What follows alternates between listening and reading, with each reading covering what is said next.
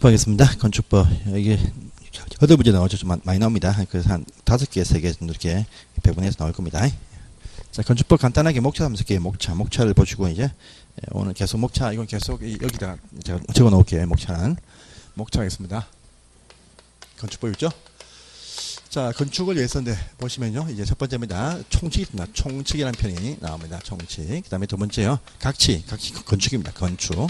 그 다음에 보칙, 벌칙이 있습니다. 보칙 이렇게 구분 딱 되어집니다. 자, 총칙에서는 이제 첫 번째입니다. 용어에 대한 정의가 나옵니다. 용어에 대한 정의가 나올 것이고요. 또 건축법에 적용되는 범위에 대해서 언급합니다. 적용 범위. 그래서 여기서 총, 총, 용어에서 하나, 여기서 한 두 개 이렇게 시험에 잘 나옵니다. 자, 건축편은 이제 건축편입니다. 건축편은 건축 절차입니다. 첫 번째 건축 절차, 건축 절차가 나오고 두 번째 건축 규제, 제한이 나옵니다. 건축 제한, 이라는 편이 나옵니다. 제한. 이 절차에서 한 뭐 한 두 개, 이제 한두 개 이렇게 나올 것이고 보칙에서 한 개, 보칙은요 각종 어떤 벌칙입니다. 벌칙도 있을 것이고 위원회, 각종 어떤 위원회가 나오고요. 그 다음에 이행 강제금이라는 사항이 나옵니다. 강제금. 그 다음에 특별자 분납, 특별 건축 구역과 특별 가로 구역과 그다음에 건축 협정. 이라는 편이 있습니다. 협정인데 무엇에서 한 한 개 정도가 나올 겁니다. 자, 첫 번째입니다. 보시면 바로 용어 정의입니다. 용어에 대한 정의. 총칙부터 나오는데 적용 대상물부터 나오네요. 예, 대상물부터 해서 요거 두 번째 요, 요, 여기부터 나옵니다. 나오는데요. 대상 어, 적용되는 범위입니다. 그래서 건축법에 적용되는 범위라고 이것이 등장을 합니다. 적용되는 범위. 첫 번째입니다. 건축법이니까 첫 번째 건축법상의 적용 대상물, 대상 물건에 대해서 언급합니다. 두 번째는요, 대상 행위가 나옵니다. 행위가 나오고, 세 번째 보시면 아, 지역적인 범위가 나온다. 이렇게 말합니다. 그래서 세 개인데, 이 대상물에서 한 개, 또요, 여기서 한 개 이렇게 나올 수도 있고, 여기서 두 개 다 나올 수도 있습니다. 네, 두, 두 개, 두 파, 두 파가 나옵니다. 첫 번째입니다. 대, 상물 나오죠. 대상물. 물 보시면 첫 번째입니다. 어, 첫 번째 보시면 대상물의 건축법이니까 당연히 건축물, 건축물에 대해서 첫 번째 먼저 가장 먼저 이야기합니다. 건축물. 두 번째입니다. 어, 건물 건축물이 아니고 또 공작물, 어? 공작물 있습니다. 공작물에 대해서 또 언급을 합니다. 세 번째 건물 지을 수 있는 땅이 뭐냐? 바로 대지입니다. 대지. 지목이 아니고 그냥 대지 건축하는 땅을 말합니다. 대지 세 가지 나옵니다. 자, 건축물 하면요. 건축물의 어입니다. 무엇이냐니까 건축물은 반드시 끝이 필요합니다. 그래서 건축물은 지붕이 꼭 필요해요. 그래서 지붕과 지붕과 요 지붕을 받쳐주기 위해서 땅 위에서요. 기둥으로 받치기도 합니다. 그래서 건축물과 아, 지붕과 어떤 기둥이 있으면 건축물입니다. 건축물이고요. 또, 또는, 또는요, 이 건물이 있으면 건물을 벽, 벽으로, 벽으로 이렇게 받쳐둘 수도 있습니다. 있으니까 지붕을 받친다, 벽으로 받친다 해서 벽이 있는 것이 건물입니다. 그래서 지붕과 기둥 또는 벽입니다. 어, 지붕과 기둥 또는 벽이 다 있어도 건물 맞지만요, 그냥 지붕만 있든지 또는요, 지붕만 있어도 이게 벽만 있어도 이것이 건물 됩니다. 그래서 지붕은 꼭 필요하니까 지붕과, 지붕 꼭 필요합니다. 지붕이 없으면 안 됩니다. 지붕과 기둥 또는 벽을 가진 구조물이 바로 건축물이다. 이렇게 말합니다. 그러면 이것을 위해서 딸려 있는 것들, 이걸 위해 딸려 있는 것도 같이 건물로 취급한다. 이렇게 딱 나와 있습니다. 그래서 원래 담장이나 옹벽은 이것이 공작물로 취급받는데 이 건물을 위해서 존재하면 같이 건물로 본다. 이말 되겠습니다. 딸린 것을 건물로 본다. 합니다. 이렇게 했으면 땅 위에 보통 있는데 땅 속에 있어도 이것도 건물이다. 지표 아래. 그다음에 고가의 공작물 위에 받쳐 놓은 것도 건축물로 취급한다. 이렇게 말합니다. 그래서 이렇게 지붕이 있는 구조물이면 어, 지표 위에 있든지 지표 위에 있든지 또 지표 밑에 있든지 지표 밑에 있든지 위에 있든지 또 공작물 위에 받쳐 놓아도 다 건물로 취급한다 이렇게 말하죠. 그래서 지붕이 있으면 다 건물이다 이렇게 보면 됩니다. 하나의 지붕이 있는데 이것을 왜 기둥으로 받쳐 놓아도 이것도 건물입니다. 건물. 어쨌든 지붕이 있고 기둥이 있으면 다 건물로 취급합니다. 그것이 첫 번째 딱 나왔죠. 토지에 정착하는 공작물 중에서 지붕과 기둥 또는 벽이 있는 것이 건물이다. 라는 요즘은 우리 이전에 참 잘 나왔던 문장입니다. 그래서 지붕과 기둥 또는 벽이 지 또는 뭐 지, 지붕 또는 지붕 또는 기둥과 벽이 있다. 건물 안 됩니다. 지붕과 기둥 또는 벽. 요 순서가 잘 나왔습니다. 2번입니다. 그런데 그런데요. 이 건축물로 볼 수 있는 구조를 갖추고 있는데 건축법상 건축법상 건물로 보지 아니하는 것이 있다라고 합니다. 해서 보니까 첫 번째 창이다. 또 두 번째 곰이다. 고. 또 세 번째 보니까 철입니다. 철. 또 네 번째 문이네요. 네 번째 문. 해서 창고 철문에 해당되어지면 이것은 건축상 건물로 안 봅니다. 창고 철문에 해당되어지면 건축상 건물로 보지 않는다 합니다. 창 뭐냐? 창. 창고입니다. 창고. 창고인데 이 창고 위치가 어디냐? 공장. 공장으로서는 대지 안에 있다라고 합니다. 또요 창고를 쓰고 있는 형태가 뭐냐? 어, 축조한 것이 아니고 어떤 컨테이너 박스, 컨테이너 박스를 가지고 창고로 쓰고 있다는 컨테이너 박스. 그렇습니다. 컨테이너 박스도 보시면 철판, 철판 지붕과 철판 벽이 다 있는 하나의 건축물처럼 볼 수 있습니다. 있는데 이 컨테이너 박스가요. 이것이 보통 보통 보통의 장소에 있을 전부 다 보통 가설 건물, 가설 건물로 많이 가설도 건물입니다. 가설 건물인데 그런데 이것이 공장입니다. 공장. 공장으로서는 대지 안에 있을 때는요. 이것이 공장으로서는 대지 안에 있는 컨테이너 박스인데 이것이 창고, 창고로 쓸 때는 건물이 아닙니다. 그런데 공장 안에 있어도 무슨 뭐 사무실 용도나 기타 각종 어떤 뭐 숙소 용도 등일 때는 이것도 건물에 취급합니다. 하는데 어, 창고로 쓸 때만 건물로 보지 않는다. 이렇게 말합니다. 또 이 건물 옥상 어떤 보통의 건물 옥상 옥상입니다 옥상. 요 옥상 옥상인데 옥상에다가 컨테이너 박스를 올려서 설치했을 때는 이것은 가설 건물도 아닙니다. 옥상에 올라가면 이것은 바로 면적의 증가 증가 정축을 봐서 그냥 보통의 건물처럼 취급을 한다. 이렇게 말합니다. 그렇기 때문에 이 컨테이너 박스가 공장으로서는 되지 않아서 창고로 쓸 때에서 건물로 보지 않는다. 여기입니다. 아시겠죠? 첫 번째입니다. 두 번째는요 고입니다 고. 고속도로. 고속도로 가시면 가시 입구에서요 통행료 받는 징수 시설이 있습니다. 징수 시설 이것도 건물이 아닙니다. 그래서 이 작지만 부스 형태를 갖추고 있어요. 있지만 이것이 어디냐? 이 위치가 보시면 대지가 아니고 도로입니다. 도로 도로 위에 있습니다. 있어요. 도로 위에 건물 지을 수가 없는데 있다 이거죠. 이게 건물이 아니고 도로 교통 시설물에 포함된다 이렇게 말해요. 그래서 건물이 아닙니다. 그다음에 철, 철도입니다. 철도나 선로, 철도나 선로입니다. 철도나 선로로 쓰고 있는 궤도 부지 안에 있어요. 철도 선로 부지 안에 있습니다. 부지 안에 보시면 우리 역사 오늘 아침에 왔는데요. 철도에 가보시면 참 많습니다. 참 많아요. 많은데 지붕 가진 것이 많이 보입니다. 플랫폼, 플랫폼 지붕이 있습니다. 있어요. 있고요. 또 어떤 창고, 창고입니다. 급, 급탄급의 창고, 급탄이나 급의 창고. 지금은 잘 안 보이지만요. 옛날 역사 가시면 급탄급의 창고 아직 있, 습니다 있어요. 그 다음에 각종 어떤 보안용 시설들, 보안용 시설들, 철도 시설, 그 1층 가시면 저 끝에 가시면 보안용 시설들, 그 어떤 지붕을 갖추고 있고 보안용 건물들이 보입니다. 이것들하고요. 다음에 보행 시설이죠. 보행 시설. 우리 가시면 그 어딥니까? 저 서부, 그 동부 서부죠. 동부 서부 이 관통하는 어떤 그, 그 육교 있죠. 그것도 지붕이 있습니다. 보행용 시설들. 이것들 지붕이 있다 해도 건물 아닙니다. 아니에요. 그런데 이거 말고요. 이거 말고 보시면 또 있습니다. 뭐냐? 철도 역사입니다. 철도 역사. 이것은 건물입니다. 또 요 철도 매점 있죠. 레일 옆에 매점이 있습니다. 이것도 가설 건축물 건물입니다. 건물. 인데 딱 네 가지입니다. 플랫폼, 겉한거부 창고, 보안용 시설, 보행 시설만 건물이 아니고 철도 역사는 건물이고 철도 매점도 건물인데 그것이 그 외에 요거 네 가지만 건물이 아닙니다. 다음에 네 번째 문화재 보호법이죠. 문화재 보호법이라는 법이 있습니다.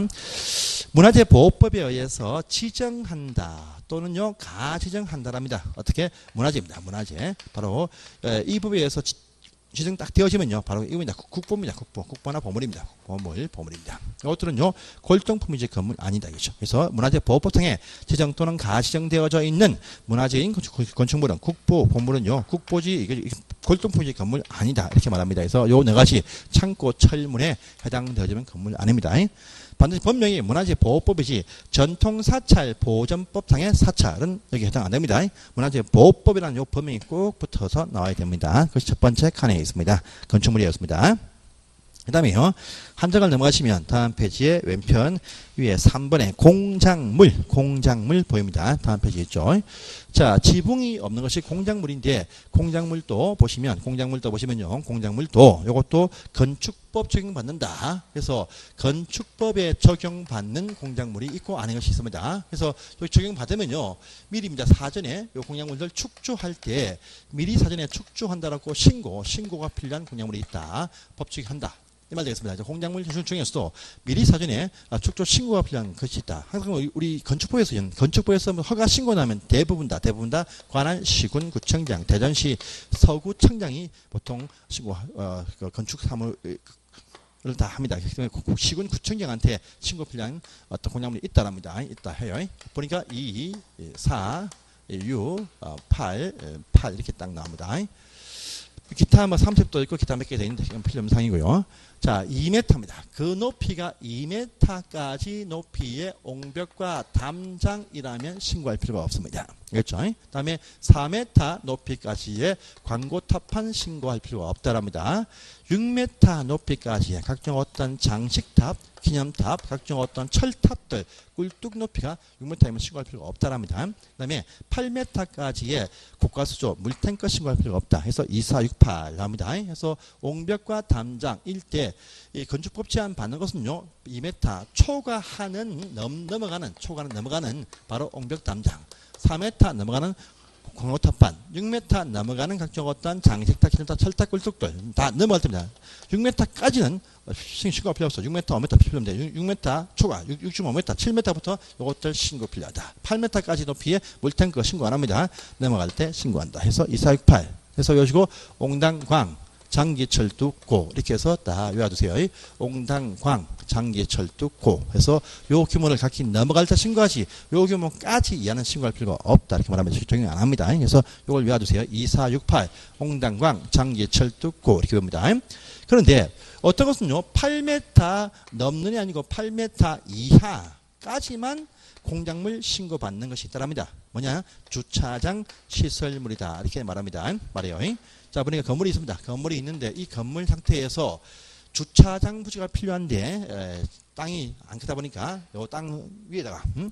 철골식, 철골식, 기계식, 조립식 차오 타워를 딱 올립니다. 올려요. 이럴 때 어제 철골식, 기계식, 외벽이 없어 차가 다 보이는 형태의 어떤 그런 식의 어떤 기계식 어, 주차 타워를 올립니다. 올리는데 이 높이입니다. 높이가 8m, 8m까지 높이라고 할 때 N은요. N은 이것은 공작물로 봐서 공작물 신고를 해야 됩니다.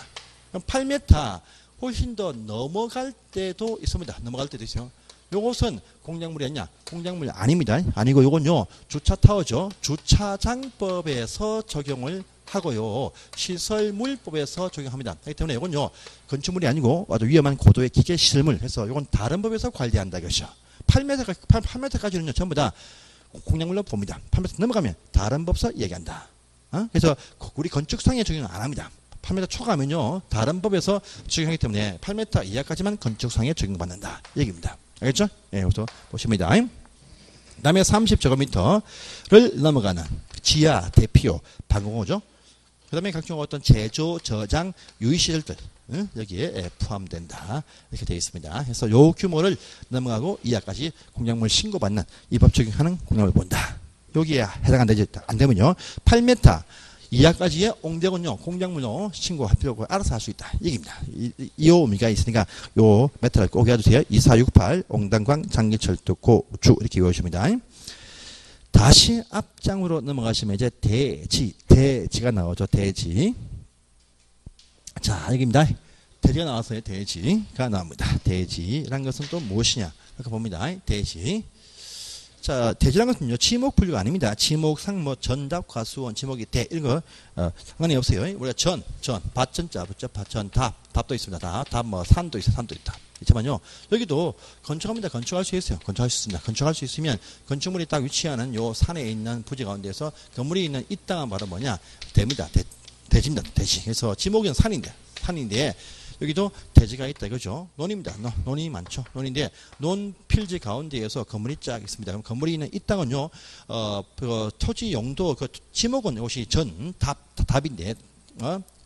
답인데 여기 건물이 있는 요 땅은요 답 중에서도 요건 대지다 이렇게 보면 되지 그래서 대지란 것은 지목과는 어, 전혀 상관없어요 지목에서 지목 지목불이 아니고 그냥 건물을 지을 수 있는 땅 건물을 지, 어, 또 지, 저물이 있는 땅이 바로 대지다 보면 돼요 대지인데 요건 분류가 아닙니다. 그래서 요 대지가 뭐냐? 아, 대지의 범위입니다. 범위 딱 보시면요. 우리가 안 배우지만요. 공간 정보에 관한 법이 있습니다. 법. 요 법. 이게 종전에 종전에 보시면 이법 명칭이 이렇습니다. 그냥 지적법 지적법입니다.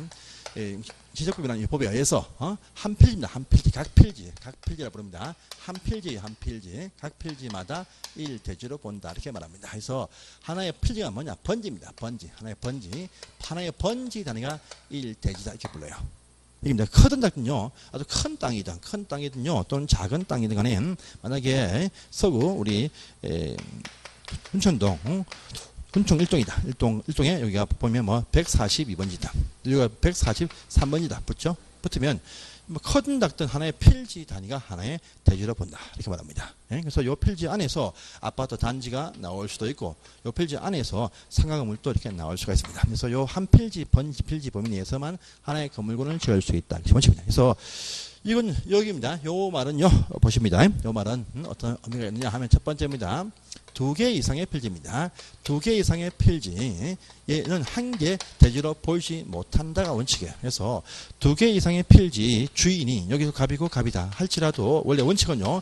요 두 필지에 걸쳐서 어떤 건물을 짓는다. 이건 못 짓는다 이거죠. 음? 항상 필지 단위 쪼개어서 여기 이런 건물 여기 이런 건물 나누어 짓지 필지 두 개에 걸쳐서 한 필지가 아닌데 여기 자기 땅에 해서 에, 걸치는 건물을 지을 수 없다 이것이 원칙입니다. 원칙이야. 원칙이고요. 또 있습니다. 두 번째는요. 한 개 이상의 필지, 한개 이상의 필지 일부입니다. 일부. 요 일부에 대해서요. 어, 이를 대지로 보지 못한다 합니다. 이건요. 큰 필지가 있다. 큰 땅이 있어 가지고 여기 어떤 건축물이 있는데 땅이 넓으니까 여기에 요 건물이 뭐냐 보니까 이것이 상가 건물이었다. 그런데 자, 자기 땅 크다 보니까 다시 여기다가 내가 저기 원룸, 어? 원룸, 원룸을 또 지어 가지고 또 이것도 예, 어떻게 어, 임대겠다. 이걸 딱 세웠어. 그런데 한 필지 안에서요. 상가 있고 원룸이 그렇게 지을 수 없습니다. 이때는 뭐 자기 땅이니까 간단하게 분필을 딱 해가지고 144번지였던 그러면 다시 이건 143-1번지 분필을 한 다음에 별도 용도의 건물을 딱 지어야 됩니다. 그래서 용도와 다른 두 종류의 건물이 한 필지에 위치하지 못합니다. 이것이 이 원칙입니다. 그래서 두 필지 이상이 1 제재가 되지 못한다. 또한 필지 이상 일부가 어, 또 별도의 제재가 되지 않는다. 이것이 원칙입니다. 원칙인데 둘 다 그러나 그러나 되는 경우도 있다. 되는 경우도 있다. 둘 다 되는 경우도 있다. 이렇게 아시면 됩니다. 그러면 큰 박스 두 개 딱 나오죠. 두, 두 개 이상의 필지가 하필이 안 되어도 걸쳐서 어떤 건물을 있는 경우가 있고 또한 필지 이상의 일부가 아직 분필이 안 되어도 어, 별도 건물을 지을 수 있는 별도 대지로 보는 경우가 있다 있다 있다만 아시고 넘어가십시오. 오늘 시험 안 나옵니다. 안 나와요. 그래서 있다만 아시고 넘어가시면 되겠습니다. 저, 저희 시험 이까지입니다. 이까지. 있다까지 마시면 돼요. 그래서 상세한 내용들은 여러분들이 이것이 이도 단지 합등내 상위점 아니고 시험 안 나오니까 이렇게만 딱 잡고 넘어가시면 됩니다. 이까지가 대상행입니다. 행위. 자, 요 파트 문제를 보겠습니다. 문제. 보시면 이제 첫 번째 1번 문제입니다. 144페이지 있죠. 1번 문제. 총칙에서의 대상 물입니다. 건축법 적용하지 아니하는 건축물로 가장 옳은 것은 무엇이냐라고 되어 있습니다. 바로 창고 철문을 찾아보면 됩니다. 그래서 전통 양식의 한옥 예, 적용합니다. 법 적용합니다. 군사 시설들 다 법 적용합니다.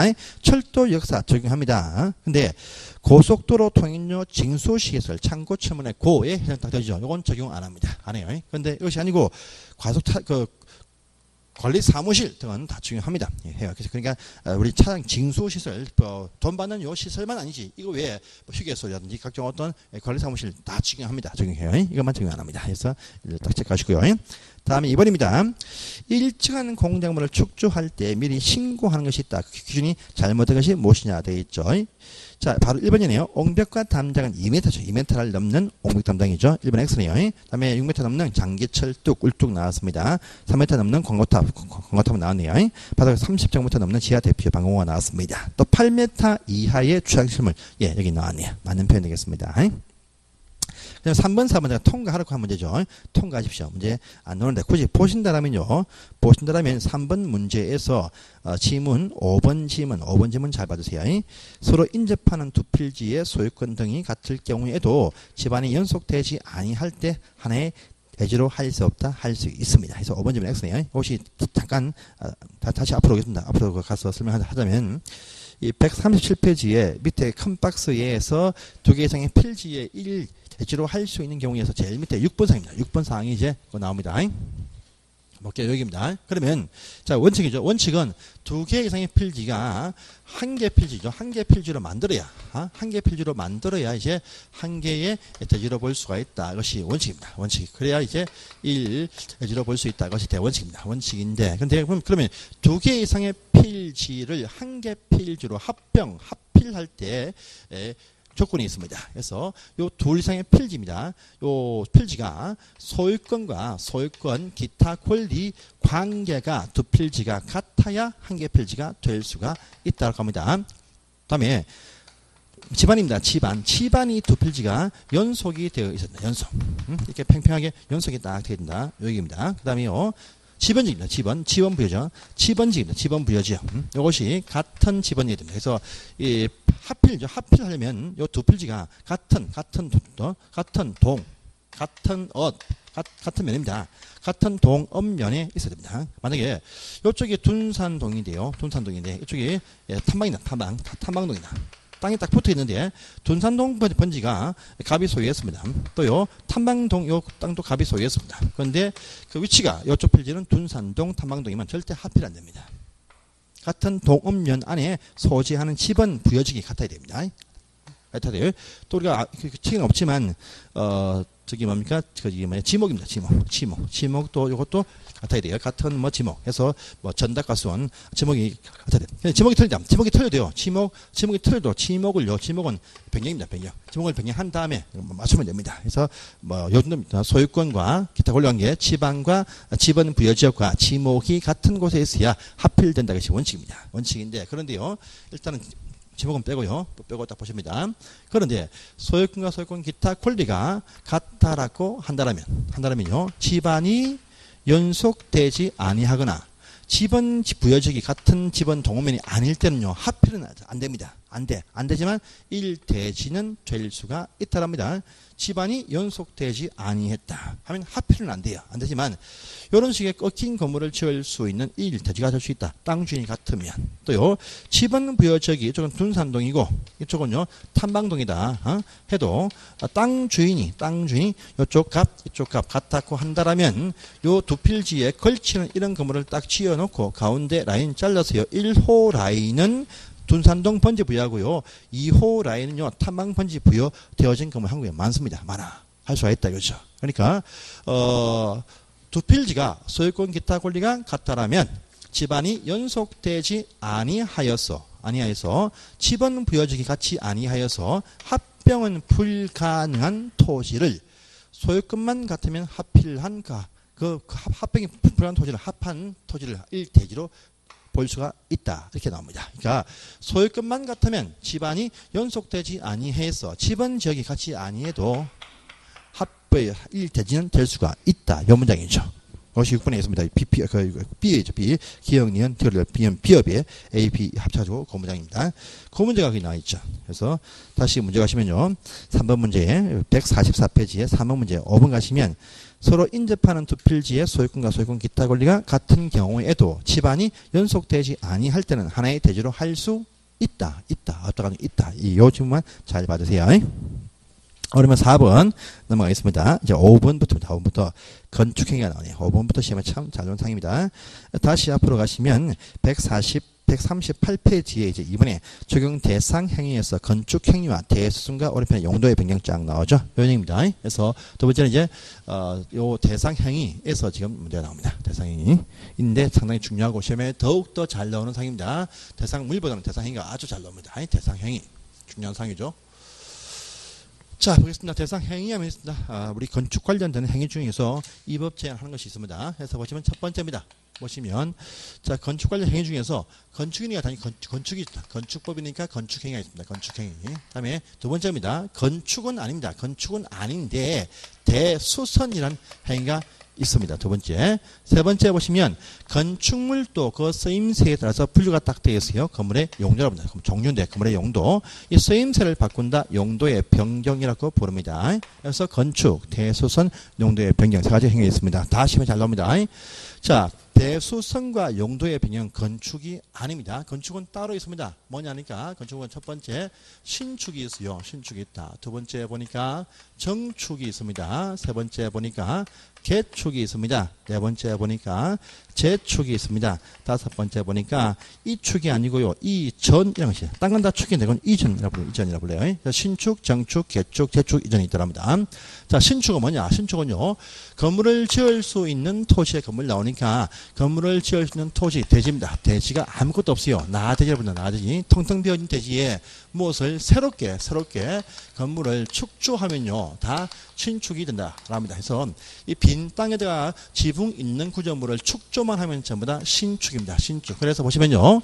자, 보시면 어, 주된 용도의 건물을 축조한다. 신축입니다. 빈 땅에 집을 짓는다. 신축입니다. 또요 빈 땅에 어, 창고 등의 부속 건물을 짓는다. 요것도 신축입니다. 그래서 뭐든지 지붕 있는 것을 새롭게 지으면 다 신축이 딱 됩니다. 그런데 저 집을 짓고 나서 그 다음에 창고 등의 부속 건물을 탁 지어요. 요것은 뭐가 되느냐? 요것은 먼저, 요것은 이제 정축이 됩니다. 정축. 기존 건물이 있는 대지에서 먼저 키웠다 해서 정축에 포함됩니다. 그런데 창고를 지을 때 신축이었는데 다시 이 이후에 주된 용도의 건물을 짓는다. 요것도 신축이 된다라고 합니다. 그래서 창고 짓고 창고 지을 때 신축인데 그 다음에 집을 지을 때도 신축이다. 그런데 집을 지을 때 신축인데 그다음에 창고 지으면 정축이 된다. 이렇게 말합니다. 그래서 저기 차이 납니다. 그다음에 정축 나죠. 정축은 요 대지 안에 어떤 기존의 건물이 있습니다. 있어요. 어떤 건물이 하나 있습니다. 있는데 요 건물 상태에서 요 건물 상태에서 건물의 청수입니다. 청수를 가운데 하나 집어넣습니다. 이것도 정축입니다. 그 다음에요. 높이입니다. 높이가 올라가네요. 요것도 정축입니다. 그 다음에 면적입니다. 각종 어떤 어, 보시면 이것이 뭐 표현 속에는 건축 면적과 면적 되는데 이거 다 불입니다. 뭐 바닥 면적도 바닥 면적이 커지면 커지면 당연히 면적이 커지니까 다 포함됩니다. 그래서 각종 어떤 청수나 높이나 면적이 는다 전부 다 정축입니다. 정축. 근데요. 어, 청수가 늘었는데 늘었는데 면적은 변함이 없는 경우도 있습니다. 있어요. 이게 뭐가 됩니까? 분명히 요 건물 창을 한 집어 넣어서 집어 넣었는데 어, 종전에요. 종전 이 건물이 100평인데 100평 1층입니다. 1층인데 이 상태에서 청수를 2층 하나 더 집어넣습니다. 집어넣었어. 근데 면적은 안 커진다. 아니, 청을 집어넣는데 면적이 안 커진다. 이게 있습니다. 바닥 면적 가운데에서 면적 산입이 안 되는 부분들이 있습니다. 어? 제외하는 부분들이 뒤에 가면 곧 나오거든요. 바닥 면적에서 볼까요? 그 한장 할때 먼저 한 장, 어떻게 나올 겁니다. 두 장, 세 장, 예, 쭉 넘어가시면 그 중요한 사항도 있거든요. 자, 이왕 뭐 나온 김에 보겠습니다. 그래서 어디 있더라? 바로 그, 그 뒷페이지. 어? 그 면적이라는 편이 나와야 되는데 면적 150 3페이지 보면 있습니다. 에, 153페이지 그 4번에 바닥 면적에서 보시면요. 제외, 제외 있죠? 보시면 제외 안에서 그 띄고 보세요. 공동주택의 지상 1층 이상 위에 설치한 각종 어떤 기계실, 전기실 놀이터, 청을 집어넣어서 그 건물에서 어, 어딥니까 조경시설 또는 놀이터 이렇게 쓰겠다 할 때는요 면적이 안 납니다 안 늘어 어? 그래서 늘어도 면적이 안 늘어나는 부분이 있어요 그래도 그래도 이것도 정축에 포함됩니다 청수가 늘었다 면적 불변하고 다 아, 저기 포함됩니다 높이도 그렇고요 다 포함됩니다 그래서 이 상태가 되면 다 이것이 바로 규모가 커졌다 다 정축이 된다 이렇게 보시면 됩니다 그 다음에 이거죠. 개축입니다. 개축 중요합니다. 개축은 건물을 이 건물 주인이 일부러입니다. 고의로 건물을 철거합니다. 철거예요. 그다음에 재축요. 재축은 어떤 자연재해 때문에 건물이 멸실탁되었어요. 철거 멸실입니다. 어떤 철거 멸실입니다. 개축은 철거, 재축은 멸실입니다. 일부러 이쪽 일부러 철거한 것이죠. 이건 제로 멸실탁. 멸실탁 되고 나서 요 건물 주인이 다시입니다. 다시 다시 또 건물을 축조합니다. 축조예요. 축조했는데 조건이 있습니다. 전에 있던 건물의 규모입니다. 사이즈 평수 요거와 같은 규모를 유지할 때입니다. 같은 평수이거나 또는요 작아질 때 이것이 바로 개축과 저축입니다. 그래서 어떤 건물이 있는데 이 건물을 철거했습니다. 철거하고 이 대지 안에서 다시 지어서 다시 지어서 같은 평수를 유지했다 할 때 이것이 바로 예, 이것이 개축이고 또 멸실되어서 다시 지어서 같은 규모 유지할 때 이것이 저축입니다. 재축입니다. 그런데요. 종전에 보니까 철거한 것이 뭐냐 단층짜리 단층 단층 1층입니다. 1층짜리 100평짜리를 철거했습니다. 하고 나서 다시 축제했습니다. 해서 역시 1층에 50평, 2층에 50평에서 50평, 50평에서 같은 규모는 같이 100평을 유지해 하고 있습니다. 하지만 청수가 1층에서 요 2층으로 이렇게 커지죠. 음? 청수가 커졌죠? 커졌죠? 이건 정축이 되겠죠. 아닙니다. 신축이 됩니다. 신축. 철거하고 다시 지은 것이 청수가 커지면 이것도 신축에 해당된다. 판례에서 두 번 나왔습니다. 알겠죠? 신축이 됩니다. 자 보세요. 또 있습니다. 철거입니다. 철거. 그래서 이 철거나 멸실되어서 축조한 것이 것이 커진다. 규모 커진다. 커집니다. 또는요. 규모는 같아도 청수가 커진다. 합니다. 전부 다 정축이 아니고요. 커지면 전부 다 신축에 해당된다. 신축입니다. 신축. 신축입니다. 커지면 신축이에요. 자, 철거입니다. 철거할 때 보시면, 철거할 때 보시면요. 보통은요. 보통은 보시면 전부 몽땅 다 철거를 합니다. 그런데 요 건물을 요 부분 철거, 일부 철거입니다. 일부를 철거했을 때 전부와 같은 철거로 보는 어, 건물의 규모가 있습니다. 보통은 다 전부 다 철거해서 다시 짓는데 부분 철거에도 전부와 같은 철거로 봐서 커지면 신축 같으면 개축이 되는 경우가 있다랍니다. 있다래요. 뭐냐니까 어, 건물의 구조 가운데에서요. 내기 보틀입니다. 내기 보틀, 내기 보틀 할게요. 내기 보틀, 보틀입니다. 내기 보틀. 해서 어, 건물 내부에서의 내력벽, 어, 기둥입니다. 또 보입니다. 보, 지붕틀입니다. 지붕털. 요 네 가지 구조 가운데에서 셋, 셋, 셋입니다. 셋, 셋. 음? 만약에 할 때 보시면 기둥 한 개, 보 한 개, 지붕털 두 개를 철거했다. 세 가지입니다. 세 가지, 세 가지입니다. 세 가지. 요 세 가지 이상을 철거했다 하면요. 요건 전부 철거입니다. 그래서 요 전부 다 철거하든지 또 구조 가운데서 네기 보털 중에서 세 가지 종류 이상을 철거하면 전부 철거입니다. 그래서 커지면 뭐가 된다? 신축 같으면 개축이 된다. 그죠? 그래서 지문석에서요. 만약에 기둥, 기둥과 기둥과 또 보와 보와 지붕 털을 어, 철거했다. 철거해서 어, 다시 예, 축조를 한 것인데 규모가 커졌다. 딱 나오면 신축이요. 규모가 같다. 딱 나오면요. 개축이 딱 됩니다. 근데요, 만약에요. 요 기둥과 보 지붕털 가운데에서 한 개 뺍니다. 한 개를 빼요. 한 개 뺍니다. 한 개 뺐습니다. 기둥과 보를 철거했다. 어? 그러면 커졌다.랍니다. 그러면 신축이 아닙니다. 커졌다 하면 정축입니다. 같다 하면요. 대수선이 됩니다. 그래서 요세 가지 이상 종류를 철거했을 때 전부적으로 봐서 커지면 신축 같으면 개축. 만약에 세 가지 아니고 두 가지만 철거했다. 어? 여기 대수선 보시면 정설, 정설 또 해체, 철거가 딱 나옵니다. 나와요. 이게 딱 잡힙니다. 세 가지 종류 이상을 철거해야 전부 철거로 봐서 커지면 신축 같으면 개축. 두 가지 한 가지만 철거했다. 대수선에 해당되어서 규모가 같으면 규모가 같으면 규모가 같으면 대수선 규모가 커지죠. 커지면 무조건 정축됩니다. 세 가지 종류 이상을 철거를 딱 해야 해야 개축의 철거로 본다 이렇게 말합니다. 그래서 개축의 철거에 해당되지 아니하는 철거란 말이 곧 뒤에 나옵니다. 보세요. 이렇게 해서 비교를 하십니다. 자 보시고요. 그 다음에 재축은 재로 멸실되었다. 해서 다시 지은 것이 같은 규모이면 이제 재축 커지면 역시 신축이 된다. 이렇게 빠집니다. 그 다음에 5번입니다. 건물에 건물 내부에 보시면 각종 구조 많은데 특히 제일 중요한 각종 주요구조입니다. 주요구조부. 이거 시험에 두 번 나왔었죠. 건축물 내부에 주요구조부 입니다. 주요구조 보면 건축물 내부에 참여가 많은데 중에서 뭐냐면요. 어, 내기 바보지주. 내기 바보지주입니다. 내기 바보지주라 부릅니다. 지주가 주요구조입니다. 그래서 건물의 내력벽, 기, 둥, 바닥, 보, 지붕, 틀, 주계단입니다. 요것들입니다. 요것도 중요한데 요것들은 음? 해체함이 없이 해체함이 없이 살짝 옮긴다. 옮긴다. 옮긴다. 바로 이전입니다. 이전인데 이것이 같은 땅입니다. 같은 대지. 이 같은 대지 안에 있던 건물을 이쪽으로 옮겨가야 이전이지. 다른 곳으로 들고 가면 음? 안 됩니다. 그 대지 안에서 살짝 틀 밖에서 옮길 때 이전입니다. 옮길 때 보시면 내기 바보 지주를 철거하지 않고 옮겨야 된다. 그렇죠? 철거하고 옮기면 안 됩니다. 철거하지 않고 옮겨야 이전이 된다. 요 건물을 요 대지 안에서 같은 대지 내에서 살짝 같은 대지 내에서 옮겨가야 이것이 이전입니다. 딴 데 가면 그 땅에 신축이 되겠죠. 그래서 바로 이렇게 한다라고 합니다. 그것이 바로 건축행입니다. 자, 요 파트 문제 볼까요? 건축행위 문제. 바로 뒤에 있습니다. 문제 보겠습니다. 자, 건축에 관한 문제 5번 문제입니다. 145페이지 보겠습니다. 건축이다. 봅니다. 오는 것은 무엇이냐? 1번 건물이 없는 대지에 새로이 축조할 때는 건물이 주된 건물일 경우에만 신축이다. 아니죠. 주된 건물이든 부속이든 새롭게 축조하면 다 신축이죠. 그 만자 때문에 X입니다. 1번 X 이번에 기존 건축물 전부 철거하거나 멸실되어진 대지에서 같은 규모로 다시 축적한다. 신축이다. 아니죠. 같은 규모이면 개축 또는 재축이죠. 해서 이번 질문 하겠습니다. 규모 커져야 신축이 되겠죠. 3번입니다.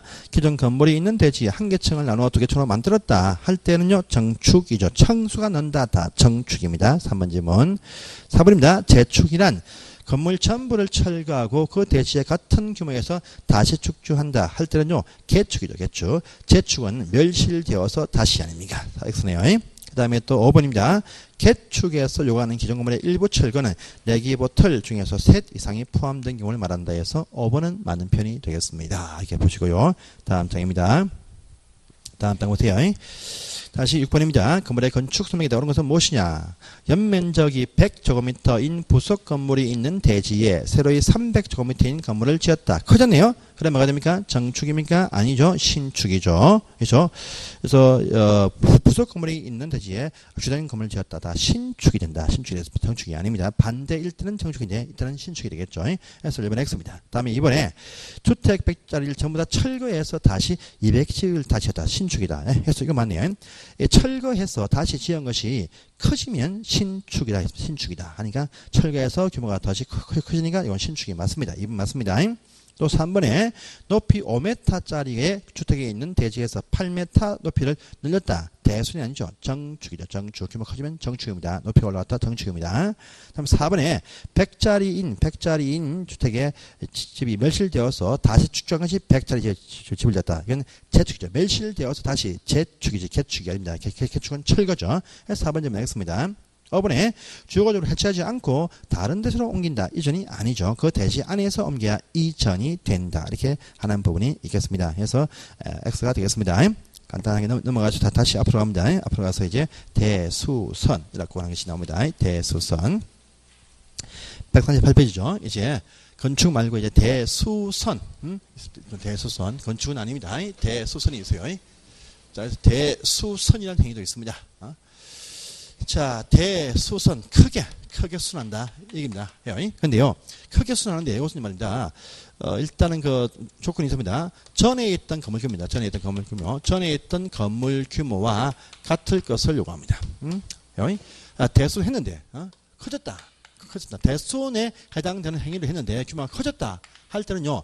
기존 건축물을 키웠다 해가지고 정 정축이 됩니다. 정축이 돼요. 그래서 대소선 행위하고 나서 같은 규모를 유지할 때가 대소선이지 규모가 커지면 원래 있는 것을 키웠다 해서 정축이 됩니다. 정축이 돼요. 그래서 뭐냐 보겠습니다. 그래서 보시면 첫 번째입니다.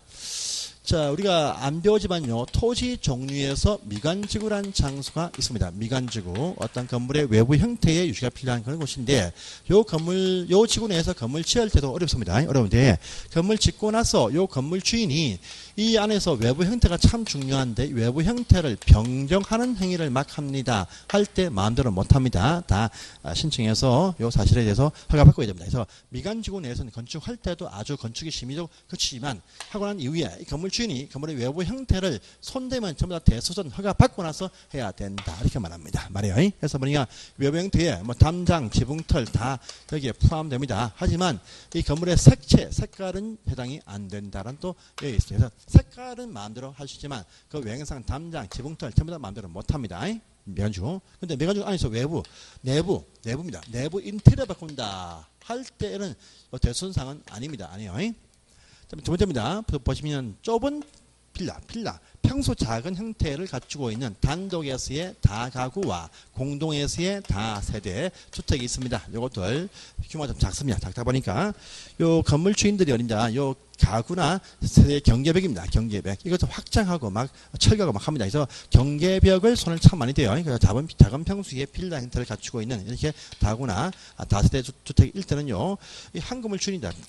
다우 주택주의면 이 사람들이 원룸으로 다시 벽을 친다 또 벽을 합한다 이렇게 참 많이 합니다. 또 아래 위에 빵꾸를 막네요. 그러니까 이렇게 막 손을 대니까 안 되겠다 싶어서 경계벽을 손만 댄다. 정설하든지 해체하든지 수선하든지 변경하든지 그 주택 건물이 뭐냐? 다 가구나. 다 세대 일대는 일체 다 심사를 다 하겠다. 여기입니다.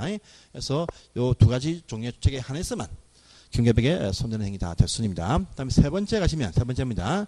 건물의 각종 어떤 주요부입니다. 주요구조부. 각종 어떤 주요구조입니다. 이것이 자, 저기 있던 뭡니까? 정축과 개축과 재축, 정축과 개축과 재축에 해당되지 아니하는 정도의 정설과 해체할 때입니다. 해체할 때란 말이에요. 그래서 이 규모가 커지면 정축이 되겠죠. 또 개축은 또 세 가지 이상 철거하겠죠. 그다음에 멸실은 폭삭하면 멸실되었습니다. 요러한 정도가 아닌 정도의 정설과 해체를 했을 때 규모가 커지면 정축이요. 같을 때가 대손된다. 여기입니다. 그 다음에 또 요것들 간단하게 수선을 해서 또는요 변경을 할 때 대순되는 경우도 있다라고 합니다. 어떤 경우냐니까 내외기 보털 나옵니다. 내외기 보털 구조 가운데서 내외기 보털 내외기 보털 요것들은 당연히 정설과 해체하면 당연히 대순 딱 됩니다. 근데 수선 또는 변경할 때 대순 되는 조건이 있습니다. 뭐냐 내력비은요 이 건물 내부에서 내력비 면적 30제곱미터 이상 수선 또는 변경할 때 같은 규모이면 대수입니다.